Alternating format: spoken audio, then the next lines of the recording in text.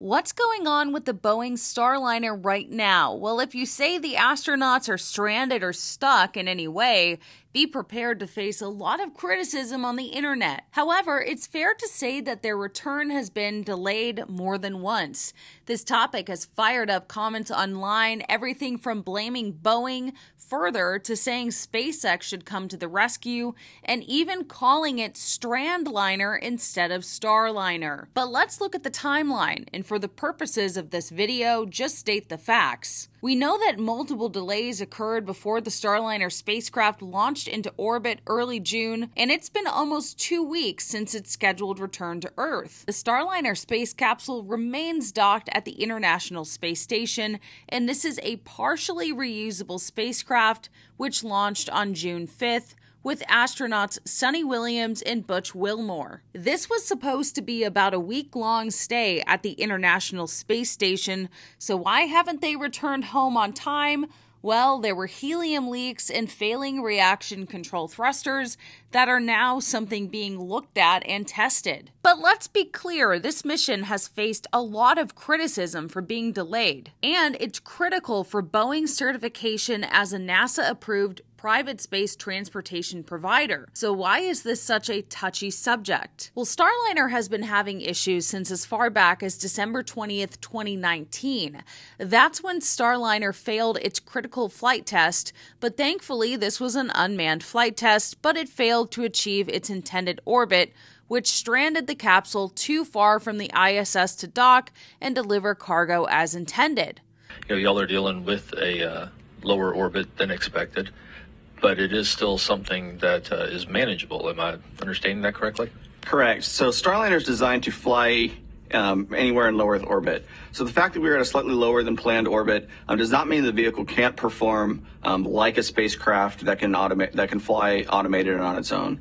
Uh, so the, the processes we've been going through um, work the exact same way as if we were at a slightly high, slightly higher orbit. It just that we have a um, you know we go around the Earth a little bit faster because our added our altitude is a little bit lower. Why did this happen? Well, Starliner's onboard clock was set incorrectly and caused the capsule's engines to fire prematurely after launching from Cape Canaveral Air Force Station in Florida. So Starliner was on the wrong orbital trajectory for reaching the ISS, which was unfortunate, but this is why we have tests, right? And check out this question from a pre flight briefing where a reporter asks about the Boeing delays. I don't think anybody thought it would take five years to get to this point. Why, aside from the early funding, funding shortfalls and some of the technical issues, it's taken so long to get to this point?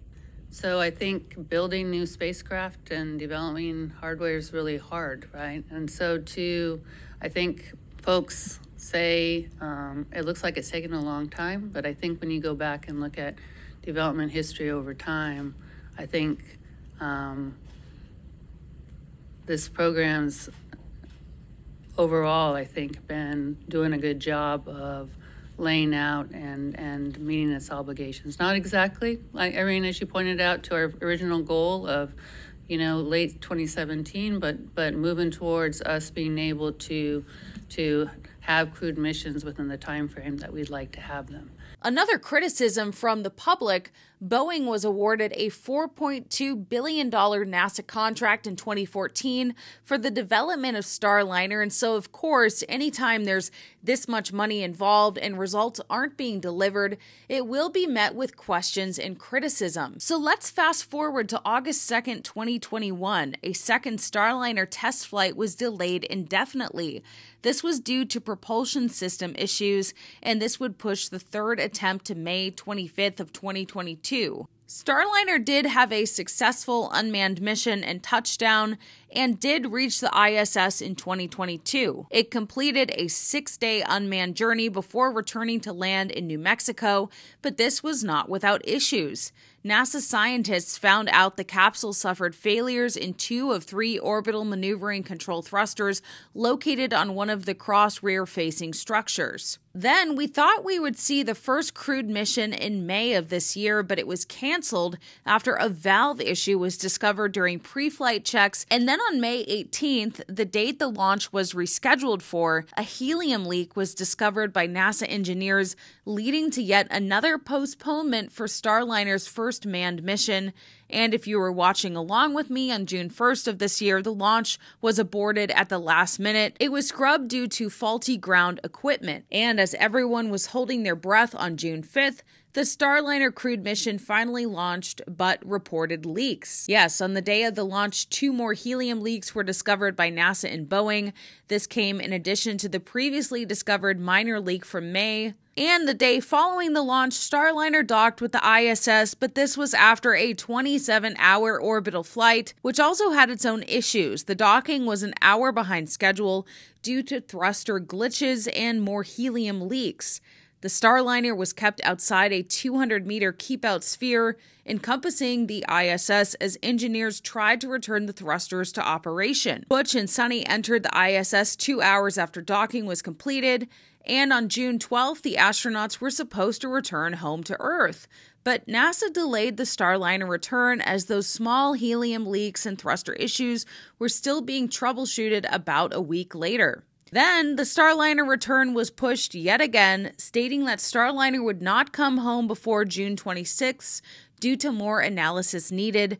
And just two days ago, the return was pushed back again to no sooner than June 28th. Yesterday, Wednesday, June 26th, NASA officials announced the vehicle has more than enough helium aboard to return to Earth, and there's no rush for the crew to leave the space station. Instead of the initial plan of around eight days in space for astronauts Barry Wilmore and Sunita Williams, NASA says the latest delay will put them closer to 20 days. The Starliner faces two main problems. First, there's a series of helium leaks in the propulsion system, one of which was known about before the flight. The second problem is with five thrusters that temporarily failed as the vehicle made its approach to the ISS. So, saying that they're stranded or stuck in some ways is not true. However, their return has been delayed significantly, so I could see why people would say they're stuck, but of course, they're not without support and resources aboard the ISS. According to NASA's Steve Stich, he said, quote, "We're taking our time and following our standard mission management team process. We are letting the data drive our decision making relative to managing the small helium leaks and thruster performance."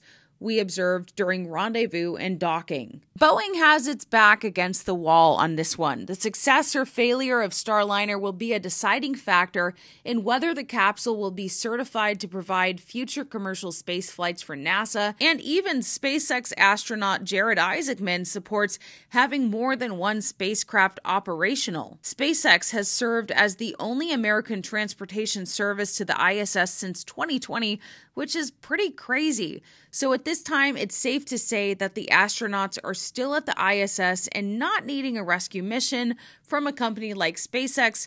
Well, at least not yet. I've received a lot of criticism for even edging into the territory of saying that these astronauts are stranded or stuck, so I thought that it would be helpful to at least state the facts of the timeline for this video. Of course, with human life involved, there is no room for error on this return. The last update from NASA's commercial crew announced leaders are adjusting the June 26 return, which obviously didn't happen yesterday, due to a conflict with the series of spacewalks. They also stated this additional time gives the team further review of the propulsion system data and the ability to assess any additional testing opportunities. Mission managers are evaluating future return opportunities following the station's planned spacewalk on July 2nd. So don't fire me, but I want to know from you in the comments what do you really think is going on? Do you think that these are excuses? And do you think that SpaceX will have to assist in a return home? Or do you have faith that the Starliner will be able to do the job and bring these astronauts back to Earth? Let me know in the comments, and I hope that this video helped at least give you a different perspective on the situation. Obviously, there have been delays, and it is a very touchy subject, so I figured I might as well make a video addressing the situation. Thanks for watching, and I'll see you in the next video. If you guys enjoyed this video and all of my Starship coverage, please subscribe to Ellie in Space. It's completely free and that way you won't miss any future videos. If you want to take it a step further, please consider signing up for my Patreon. YouTube revenue can be very unpredictable and hit or miss. And you guys on my Patreon are why I'm able to take these trips and help me experience the life that I'm very thankful to live down here at Starbase and many of the other places that I've gone to report for the channel and the places that I'll be going in the future.